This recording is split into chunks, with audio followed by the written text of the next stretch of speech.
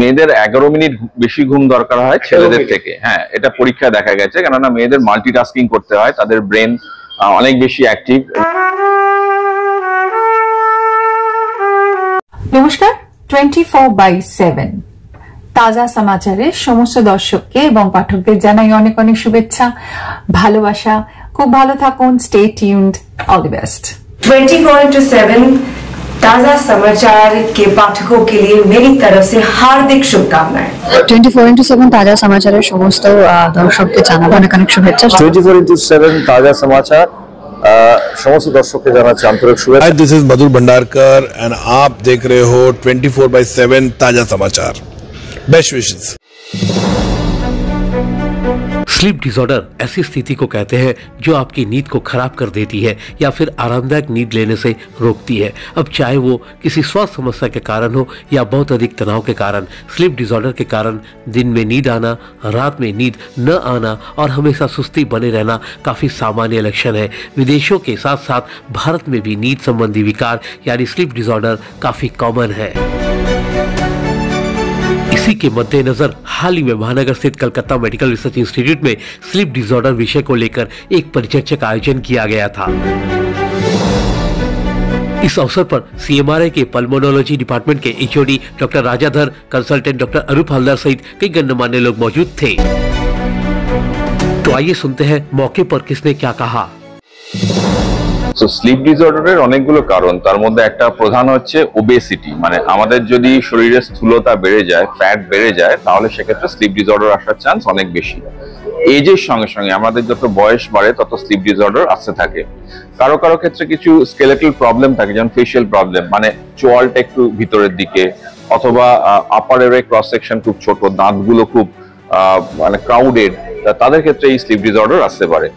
এছাড়াও কিছু স্পেসিফিক ডিজিজে যেমন যদি আমার কার্ডিয়াক ডিজিজ থাকে ডায়াবেটিস থাকে, সেক্ষেত্রে স্লিপ ডিসঅর্ডার আসার চান্স খুব বেশি। স্লিপ ডিসঅর্ডার অনেক রকমের হয়। আমরা আমাদের ল্যাবে যেটা নিয়ে কাজ করি, সেটা হচ্ছে অবস্ট্রাকটিভ স্লিপ অ্যাপনিয়া অর্থাৎ ঘুমের সময় নাক ডাকা কিন্তু একটা রোগ। এবং এই নাক ডাকার ফলে যেটা হয় যে আমাদের শ্বাস প্রশ্বাস ঘুমের মধ্যে ব্যাহত হয়। ফলে শরীরে অক্সিজেন ঢোকে না, কার্বন ডাইঅক্সাইড বেরোয় না ব্রেন বারবার জেগে যায়। তার ফলে কি হয় যে, ঘুমের মধ্যে যে শরীরের মেরামতি চলে, সেটা কিন্তু যথার্থ হয় না।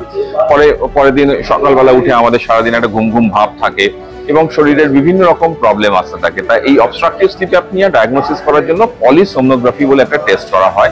এর বিভিন্ন রকম লেভেল আছে, কতগুলো চ্যানেল আমরা দেখছি তার উপর। এবং তার বিভিন্ন রকম ইন্ডিকেশনস আছে। সিএমআরআই হসপিটালে আমরা এই বিভিন্ন ধরনের পলিসোমনোগ্রাফি করতে পারি।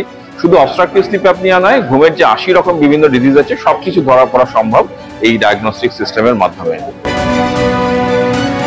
সো ডেফিনেটলি একটা ইনভেস্টিগেশন করলে সব সব পেশেন্টেই আমরা একটা ডায়াগনোসিস করতে পারি। প্রবলেমটা হচ্ছে মানে ইনভেস্টিগেশনের জন্য লোক পাওয়া। ঘুম নিয়ে মানুষের সচেতনতা এতটাই কম যে আমরা অনেকেই নাক ডাকি, অনেকেরই এই অবস্ট্রাকটিভ স্লিপ অ্যাপনিয়া আছে এবং বর্তমান ভারতবর্ষে বলা হচ্ছে fifty two million patients are actually suffering from obstructive sleep apnoea ten percent of the population কিন্তু আসে আমাদের কাছে কজন? কেননা বেশিরভাগ মানুষই ঘুমের মধ্যে যেহেতু রোগটি হয়, তারা বুঝতেও পারে না তারা এই রোগে আচ্ছন্ন আর আক্রান্ত এবং তাদের হয়তো বেড পার্টনার কেউ নিয়ে আসলো, কারণ অফিস থেকে অনেক সময় পাঠানো হয় যে মিটিং এর মধ্যে ঘুমিয়ে পড়ছে, আপনি ডাক্তার দেখান। তখন তারা আসে এবং এই টেস্ট টেস্টই করে। টেস্ট করলে কিন্তু হান্ড্রেড পার্সেন্ট এই রোগ ধরা ধরা পড়া সম্ভব। মেয়েদের এগারো মিনিট বেশি ঘুম দরকার হয় ছেলেদের থেকে। হ্যাঁ এটা পরীক্ষায় দেখা গেছে। কেননা মেয়েদের মাল্টিটাস্কিং করতে হয় তাদের ব্রেন অনেক বেশি অ্যাক্টিভ বিভিন্ন সময় তাই তাদের ঘুমের প্রয়োজনীয়তা কিন্তু ছেলেদের তুলনায় বেশি এবং মেয়েদের এই ঘুমের সঙ্গে কোপিং মেকানিজম মানে যদি আমার স্লিপ ডিপ্রাইভেশন হয় তার জন্য যে কোপিং মেকানিজম মেয়েদের ক্ষেত্রে কম। সুতরাং they need more sleep but they have a less coping mechanism for sleep deprivation সুতরাং তাদের ক্ষেত্রে ঘুমের জন্য আরও বেশি সতর্ক হওয়া উচিত। আমাদের যে আমাদের সচেতনতা সেটা অত্যন্ত কম। প্রপারলি ঘুমোতে হবে প্রপার কোয়ালিটি এবং কোয়ান্টিটি স্লিপ না হলে এজ আমাদের যে বয়স কিন্তু অনেক লাফি লাফিয়ে বাড়বে এবং খুব সহজেই আমাদের বার্ধক্য চলে আসবে অন্য ডিজিজ চলে আসতে পারে। Bureau report report 24 into seven ताज़ा समाचार